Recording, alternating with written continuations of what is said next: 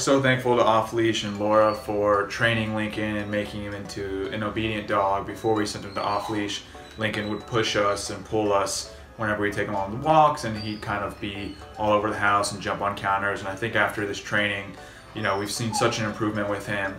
I want to thank Laura for being so communicative during the process and really just helping us out step by step, follow through on everything she taught Lincoln.